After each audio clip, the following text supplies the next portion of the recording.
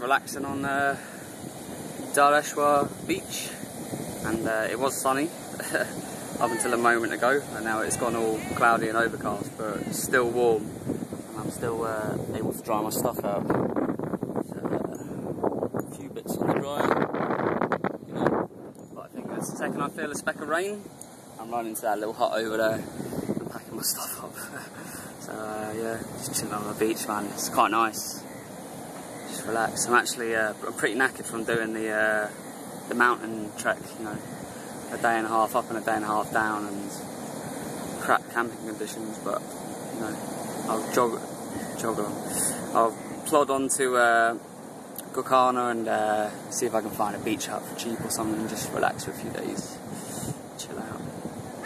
The Gokarna way. So yeah, Dhareshwar Beach.